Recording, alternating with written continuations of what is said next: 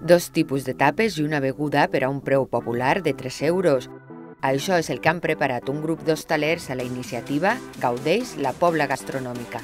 Naix de la necessitat de que molta gent reivindicava el que no n'hi havia res en el poble i per això se n'anaven a altres puestos a, a gaudir de sopars o d'oci, el que siga. No? Entonces, nosaltres hem pensat en intentar fer alguna cosa perquè eh, vegin que en la Pobla també se pot eh, sopar, se pot estar per així, se pot prendre una copa.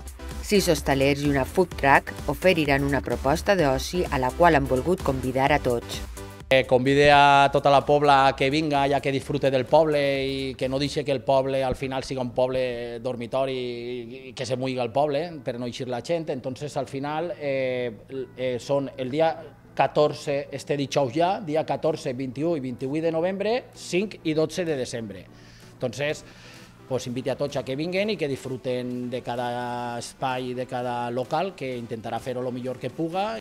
A més de la gastronomia, han preparat premis de 20 o de 60 euros per a reinvertir en locals de la Pobla, així com una visita a la fàbrica de cerveses artesanals a Badia.